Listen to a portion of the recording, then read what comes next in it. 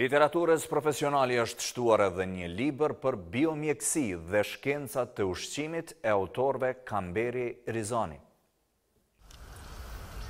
Librin mund ta vënë në zbatim studiues të cilët mund të gjejnë metodat bashkëkohore në fushën e biologjisë molekulare dhe inxhinieri gjenetike. E gjithë kjo është synuar për shkak të literaturës jo të mjaftueshme për këtë fushë shkencore në gjuhën shqipe, thotë profesori universitar Hyzer Rizani. Studiuesit tanë po kanë probleme me literaturë, prandaj ne e kemi pa të rrugës dhe të arsyes që t'i ofrojmë një material që t'ju hyjë në shërbim të gjithë atyre studiues që në fakt e kanë në gjak pjesën e gjenetikës si humane por ashtu edhe biologjisë qelizore.